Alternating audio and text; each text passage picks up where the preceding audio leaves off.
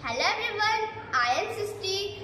In today's video, I have come up with some amazing English words. So here we go.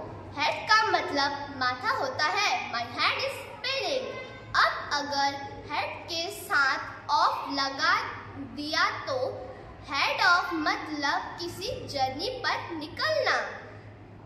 Like which time are you heading up? Head के साथ bag लगा दिया जाए तो head bag मतलब वापस जाना।